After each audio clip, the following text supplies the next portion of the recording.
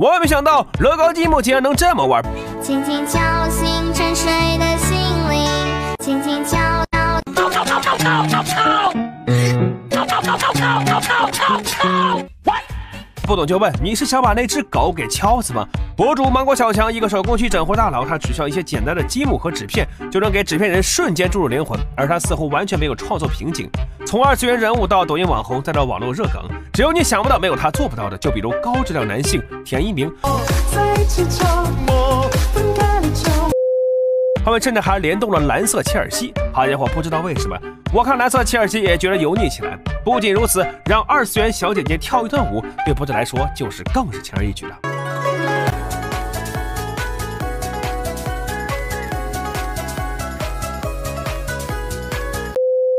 从来没有想过纸片人的动作竟然也能这么灵活。如果哪一天量产了，请务必通知我一声。你以为博主只能靠齿轮积木让人物动起来吗？那你就太天真了。他甚至能只靠纸模的裁剪和拼接就能让纸片人动起来。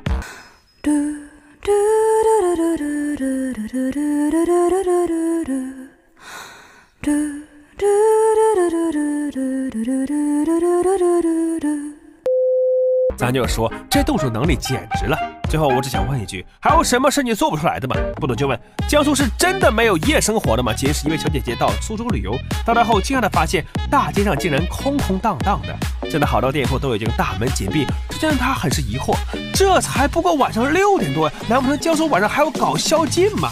带着一肚子疑问的小姐姐又来到苏州的地铁，这下小姐姐是彻底在风中凌乱了。才不过八点钟，苏州的地铁里就已经空空如也了，让小姐姐一度怀疑自己是不是来错地方了。毕竟凌晨的长沙和重庆也没有苏州这么冷静，而是车水马龙、人山人海。对此，网友们表示：真有这么夸张吗？有没有江苏人出来现身说法？这作者也是非常实诚的告诉大家，这全都是真的。因为他们只要超过九点不回家，不管几岁都会被妈妈骂。超过十点的话，那就得考虑是不是被卖了。而且这位网友的评论就非常切合的证实了这一点。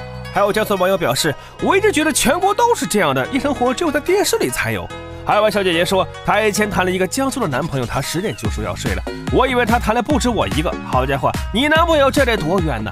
就是大家讨论的热火朝天的时候，一条极其扎心的评论出现了。虽然江苏没有夜生活，但江苏的高中生有啊！该说不说，损还是你们网友损呐。